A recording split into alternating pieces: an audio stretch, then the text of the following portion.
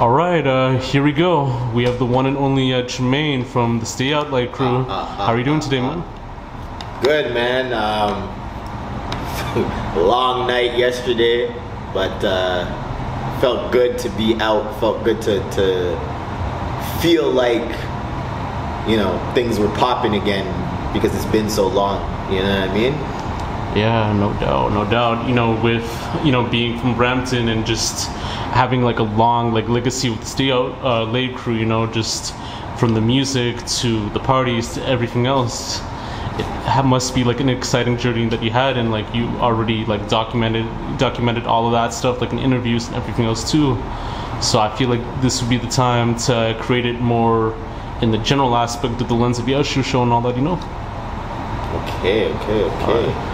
But before we get into like the very like specifics, like I know everything's already documented from past interviews and past songs and everything else too, but I want to get like those special moments that you had in life too. So you grew up in uh, Brampton, uh, correct? Yeah. So what was like the environment like for you growing up in Brampton? Would you say that it was like a good experience like growing up, or would you say that it was like quite different in a way? I feel like um, Brampton is a special place uh, because of how everybody kind of ended up there. You know what I mean? Like it was a lot of people who like experienced like the first parts of gentrification and came from different parts of Toronto to Brampton, and there's just like a lot of mix of people. When I was growing up, it was more white than anything, and then it kind of progressed into being uh, more of a South Asian community than anything. Um, but me personally, I feel like it was, it was dope. Like growing up in the suburbs, you get a lot of time to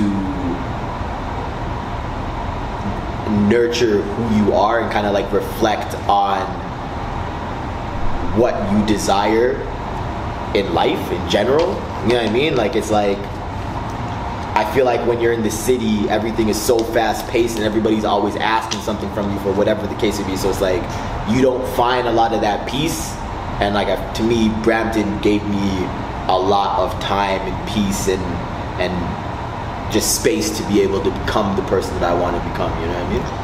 No doubt, no doubt. And you know, you already like documented it from the time like when you started out like making music and you know having these like family-based parties, playing sports in school, to high school where you formed like the Stay Out Late crew, and then it became like a phem- uh, phenomenon like within the community too, and like it was like very evident with you know, doing freestyles at like burger joints to like even like throwing these house parties too, and then you kind of had to like expand it for a bit, like when you moved to Toronto. So when you moved to Toronto um, to expand your career, uh, did you feel that like living in the city had a better experience for you in terms of like opportunities and like environments and so forth, or do you feel that both like Toronto and Brampton have like a lot of like similarities like in terms of opportunity and like environments and that type of stuff. Definitely not. Um, Toronto, by far, in terms of being able to give you opportunity, uh, relationships, and just like the, the all the tools that you need to kind of get to that next step in your in your career as like an artist is like bar none. You know what I mean? With the advancement of the internet, I feel like a lot of that has changed so much where like now you can gain a lot of that access or whatever from your home wherever you are, whether that's Brampton or Pickering or wherever. Um, so I feel like that progression is super dope, but I still feel like there's so much value in being in the city and and gaining that experience and, and being able to to uh, refine the personality that you are as an artist. You know what I mean? Like a lot of people aren't comfortable in front of a camera. A lot of people haven't performed to a crazy large audience, and you get all that from here. You get like the festivals where there's like five to ten thousand people in the audience. And you get like the friggin' I don't know, just like the, the camera's always in your face. People like yourself and whatnot who are dedicated to being that person who's documenting everything and like that shit is invaluable. Like there's so much shit that exists about me on the internet that I'm able to look at and that like fans new and old are able to kind of look at to build the story of who I am and like appreciate everything that I've done as an artist and like that it's like irreplaceable, you know? From the start of your career until now, like there has been like a lot of changes everything so far. So do you feel like that you have grown as creative and entrepreneur from the start of your career until now in terms of the way you made your products, your music, and you know networking to like everything else now, like blowing up for you and all that? 100, man. Like I think it's it's crazy to reflect on where I started to where I'm at now, and just to kind of like think about how much you can learn from being in this industry, because it's like you don't really know what it is until you're in it. You know what I'm saying?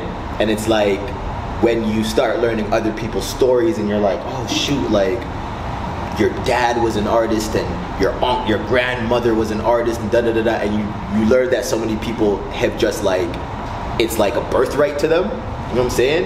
Or there's just like the people who are like, yo, they were able to just like bankroll it or whatever. But like for my story, it I'm the only person from my family who's ever pursued this. I had a, a, a cousin who passed away uh, when he when I was like 14, who was like the person who kind of inspired me to push for it. But like my family's uh, like we're worker bees, you know what I mean? Like very working class, very like get the job, buy the house, have the kid, da da da da. And I was the first person that's like I don't I don't want to do that. I want to pursue something in arts and entertainment. You know what I mean? And you learn so much in regard to like connects and how much work you have to do and how it just never stops. It's an ongoing process. But I feel like it, there's also a crazy level of independence and something that allows you to be able to, to see everything else in that same light so that you're so self sufficient. You know what I mean? Like, I don't know, music's really changed my life in a million ways that I can never really explain in a simple interview. It's gonna be something that kind of like plays out in a million interviews, but there's been a ton of growth to answer your question. Yeah. Yeah, for sure, and you know it's been evident from like you know the group's like first song from 2014 or like 2013 or like even stuff back in like early 2010s when you guys were starting out to even now with like this new single called like Lavish, you know, with Charlie, with everyone else too, like uh, uh, on the song uh, too. Uh, so shout out the gang. Charlie Noir, Scotty IV, Young Wolf, you know? and, you know, Lavish, you know, I saw the music video and it, it was like very unique in that sense too. Like it had like more of like a dark type vibe with the nightlife and everything else, you know, you know, mid like pandemic. So tell me more about that and uh, what was like the creative process for that song and the inspiration for it based on like the group's idea and such um so that song was a part of a bunch of songs that happened when we took honestly our first ever like writing retreat together as like a squad um to to make a short question long basically stay out late has gone through a bunch of different like identities or generations. You know what I mean? Like we've had a lot of members come and go, and there's been a lot of growing pains. But I feel like we, within the last two years, have picked up Charlie Noir and Young Wolf, and kind of learned how things need to go to be able to continue to grow and progress to the places that we want to be. And when you have people that get it and you're all like-minded you start just kind of like clicking and ideas start making so much more sense and they're so much easier to execute so we went out we did a writing retreat for the first time and banged out i think like 12 songs the, on the retreat we came back uh, we got them like mixed mastered and then that became the project that we're dropping a little bit later this year called fabergé Um, but Lavish was one of those songs, and it was just like I don't know, it was just like an instant vibe, an instant feeling, and it kind of just progressed into the video. And the idea came from uh, one of the managers on Stay Out Late, uh, Jay Parks. Uh, and Scotty IV, who kind of like came up with the treatment of it. But we've always been really dedicated to showing people what we feel Toronto is. You know what I mean? So that was kind of like the thing that we set out to do. I mean, but you'll see that you see that in most of the videos that we do. Like in uh, one of my old songs, City Lights, we did the same thing where we set it up where it's just like you see the real Toronto. You know what I mean? You see the the Drake hotels. You see you know Lakeshore. You see. Uh, you know the places that mans are chilling, the pizza spot, da da da da da da, that hasty market that no longer exists because of gentrification. But you see all that stuff, and I feel like that's something that is extremely valuable because we, I don't know, uh, this came up um, recently when Drake dropped his like. Uh, one of his most recent videos, uh, what, what what happened next or whatever. I think Wants Needs actually. Yeah, what's next? And he's in Toronto and he's hitting like he's on the streetcar or the subway and he's like by Yonge and Dundas or whatever and everybody's like he's the only person that's showing Toronto and we, like, we're sitting back like what you know what I mean Yeah. but I mean all in due time the more people that see it the more people will realize what we're doing you know Yeah, no doubt, no doubt. And you know, it's crazy how like that music video was made during a time like when the Toronto like nightlife scene is dead. And I think by the time like mid March 2020 happened, everything just came to like a certain end. You know, because you can't have clubs anymore, you can't have shows, you can't have everything like that, which kind of sort of like destroyed the nightlife scene, like the hearts and lungs of it in that sense too. So, do you feel that the pandemic has tarnished the heart and lungs of the entertainment and nightlife scene in Toronto? And like even like when the post-pandemic like starts, do you feel like it can make a comeback The ever? So I avoided this question, or I, I avoided saying this at the beginning of the interview. I was being just like, I don't know. It's weird. Everybody feels a different way about like where we're at with the pandemic or whatever. But like last night, I was at a rave. There was like 400 people at the fucking rave, and it was just in a park in the east of Toronto. You know what I mean? Yeah. And it was crazy because that question I feel like is what everybody's been asking. Like, will shit be the same when sh- when it, when things come back? And that experience to me, by far, says that like it, the nightlife is still here. You know, people still want it. Obviously, like there's a younger generation coming in there that are dying to party, and I feel like everybody's had so much time to grow that I feel like it's going to be insane. I feel like people are, it's going to be a thousand times doper than it was. And it's not going to exist within the confines of, of what it was before. It's not only going to be bars and, and clubs and, and venues that you see the illest shit happening. You're going to see shit happening everywhere. You know what I mean? Like people don't care. It's like, yo, where, where's the party? What, what? Like, where's the performance? Oh, we're going to the park? Bet. Like, find the speakers, find the mic, da, da, let's get it. You know what I mean? And I feel like that's gonna be crazy. I feel like some of the illest artists, some of the illest parties, some of the illest shows, and some of the illest content ever is gonna come when we're back. So, yeah. Yeah, no doubt, no doubt. You one thing that was actually like very crazy to me was how the formation of media has also changed too, with bloggers and podcasts and other people having the shine than like the traditional like media and all that. So, like in terms of like seeing like very like unique radio stations that were popular back then, like Flow ninety three point five and G ninety eight point seven, you know, who were the staples at that time too. Now it's like you know we love hip hop and all these like other Toronto-based blogs, like even like uh, this uh, platform too, like Yeah. that's kind of making up. So like even like with digital like streaming platforms, you know, that are like Spotify and like SoundCloud and Apple Music, social media, non-broadcast media outlets being more the current outlook for the rise. in these artists' careers and brands? Do you feel that the ma- the radio and magazine era is coming to a certain end for being the traditional outlet for artists, or do you think that they could adapt like easily in like this modern world? Um, I'm a huge fan of independent magazines. Um, and I feel like that's been a conversation in the world of magazines for probably like the last decade. You know what I mean? Like our generation, I feel like didn't really come up, other than like Vice. Our generation didn't really come up with the same idea of what a magazine was as like our parents and shit. Um, but I took a trip to the UK, and when I was there, I kind of like, you know, you go into a store to get like water or whatever, and you kind of like look at how they display the magazines or whatnot, and the content that's inside of it, and how much space they've given to magazines to exist in a space where it's it's almost more art than anything else. You know what I mean?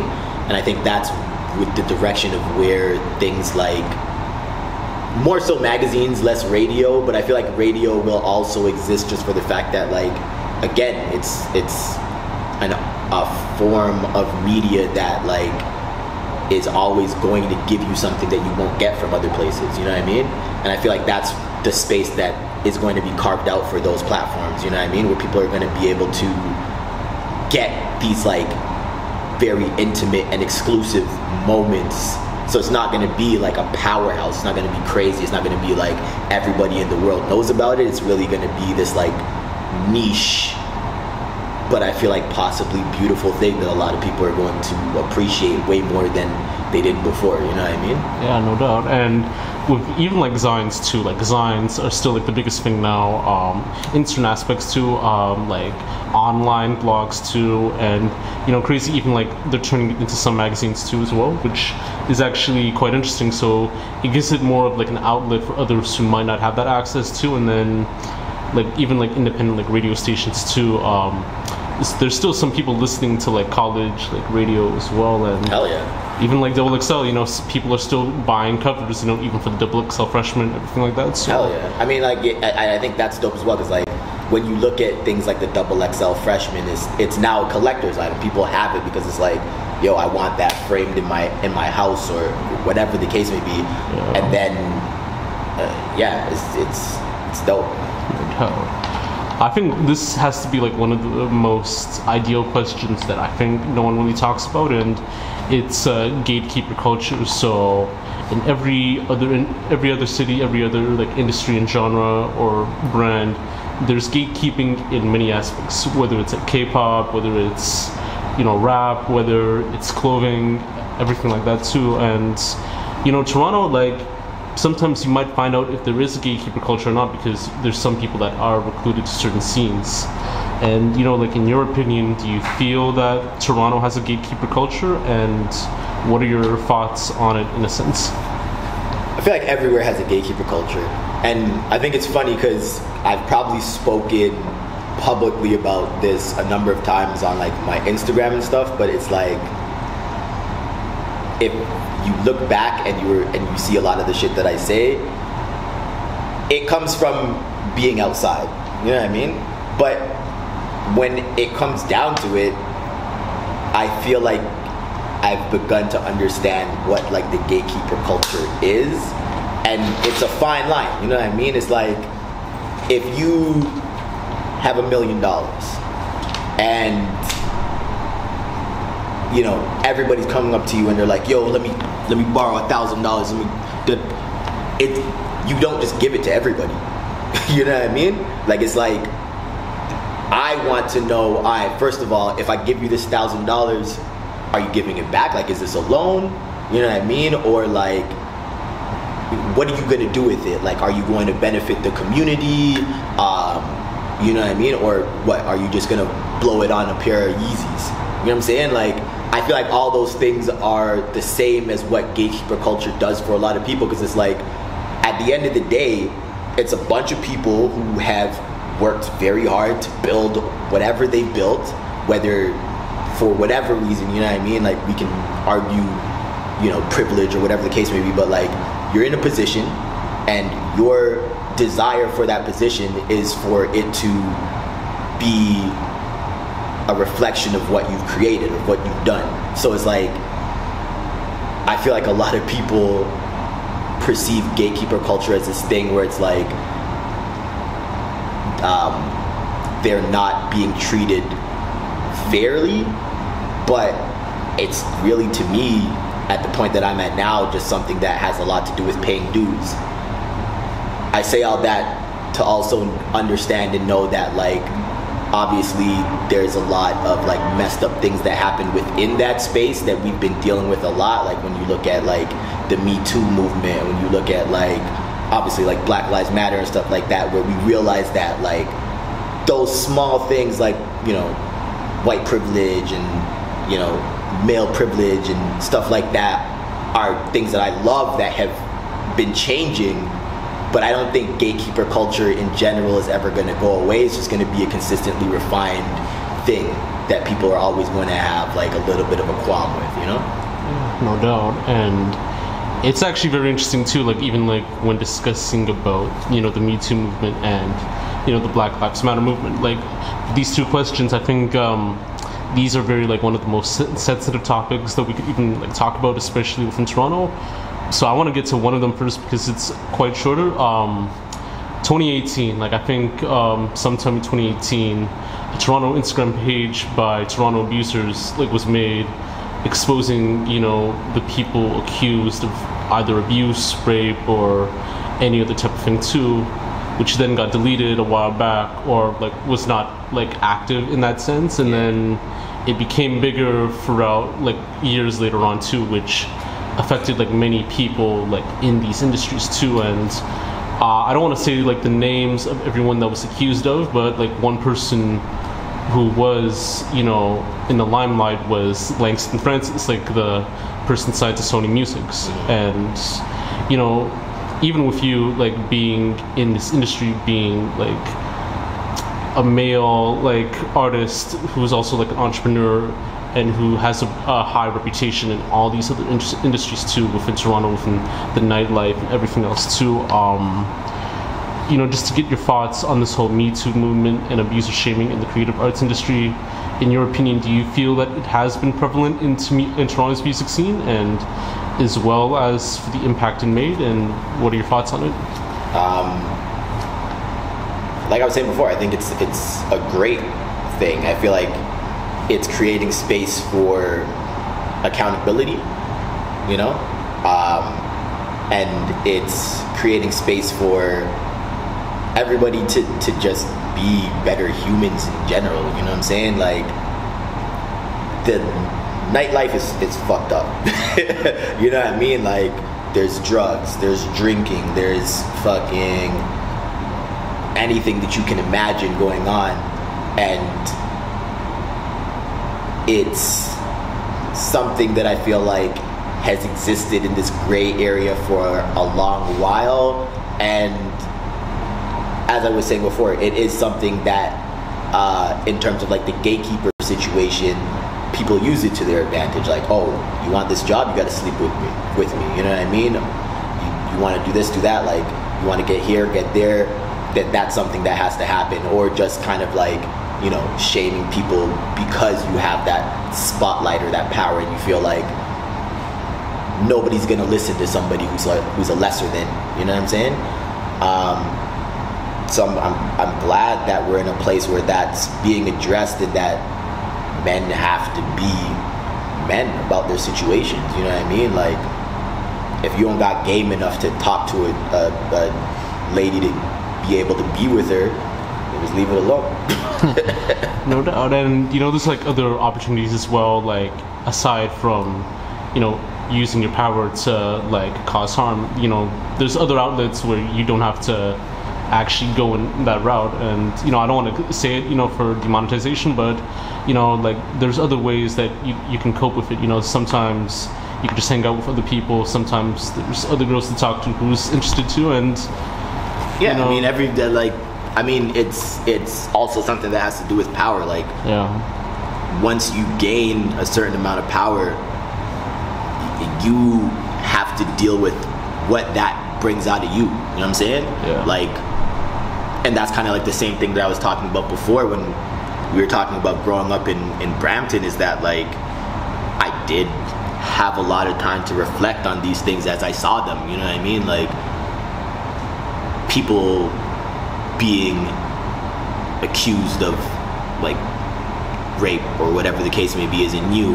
Racism isn't new. Like none of these things are, are new. It's just if you've taken the time to really like reflect on what it means and not brush it to the side. You know what I'm saying? And I think it's it's valuable that people have to decide how they feel about these things now because it's honestly fucked up that in 2021 this is still something that we have to deal with. You know, it's, it's I feel like people should have progressed beyond that. Like it's not hard. Make a decision. you know what I mean? No doubt, no doubt, and very informative as well. Um, you know, being a person who's more active on Instagram and Twitter, you know, whether it's through Stay Out Late or through like your own page as well, especially with this era where, with the deaths of like George Floyd and Regis Korchinski, Paquet, um, a lot of people like in Toronto, especially people from the black community, talked about the issues on Twitter with racism, with the nightlife establish- establishments, you know, with accusations from employees from the Cactus Club, uh, Lavelle in some cases too, and re- well, a while back, uh, the, the Drake Hotel in which you've done your work at as well, and then Yeah. like with EFS. Um, what are your thoughts on that situation? Being someone who is highly active in, in the entertainment scene, either as like an entrepreneur, a host, um, a person promoting the event, and everything else too. Um, do you feel like, as you said, like, do you feel that racism is a huge problem in the nightlife scene in Toronto? yeah, I feel like racism is a huge problem in nightlife as general in general because it's it's we're coming from generations and generations of fucking white people owning the clubs that we perform at and the music venues that we perform at and the bars that we do parties at or whatever the case may be. So it's like we've always been the people who have been in my opinion, more so in a position of the entertainer, not the owner. And again, it it falls back to people having to deal with shit or like actually make a decision as to how they feel about shit. Like if you're a fucking racist, you're racist. you know what I mean? And if nobody calls you out, then you'll continue to act and operate in a way where you feel like you never have to address it. But then when you're actually called out, you gotta address it. you know what I'm saying? And like when that time comes, you gotta make a decision. And I am aware now that we've been like a year out of, you know, uh, the the blackout Tuesday situation, that a lot of people were able to like go online, throw up a black square, like you have a business, throw up a black square, and you think that that's it. You're like, ah, we're safe now. We threw up a black square, nobody's gonna think we're a racist. But you're still a racist, and if you don't deal with it, it's gonna come back and bite you in the ass. Cause like, I love the Drake, and I've had nothing but great experiences. But if I know that that's the way that something is operating, or that that exists in that space, I'm not gonna feel comfortable continuing to do business because I know that I can do business in a million other places. Like I said, I was just at a rave yesterday in a park. You don't need your venues no more. So if you're racist, if you're racist, like we'll figure out ways to work around you. And when the money doesn't come, the well dries up, you have to close down, and then we'll buy your spot for twelve dollars. so that's how I feel, you know.